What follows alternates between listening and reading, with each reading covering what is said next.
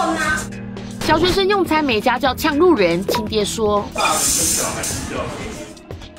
就弄那个。你在录影哦，我会把你 PO 到 YouTube 哦。不要再讲了，已经是你的饭了吧？装猪鼻子挖鼻孔再放进嘴巴，孩子在自助餐店胡闹，爸爸怎么说？没关系，到检查了？拍小孩子跟大人跟小孩子要但是你的小孩没礼貌啊！昨天晚上板桥这对父子去吃素，他儿子直接问还在用餐的网友：“你还要坐这位置吗？”接着外套一挥，扫到人家饭菜，没说对不起，还问：“你不爽吗？”哎，你拿外套泼到我的饭菜，哎，笑死人了！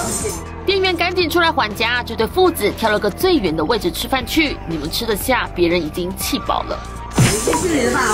吧？没小弟弟，下次你应该要问，请问旁边的位子有人坐吗？这样才对，而不是。那你也要上新闻吗？土巴东西，你先上啦，报道。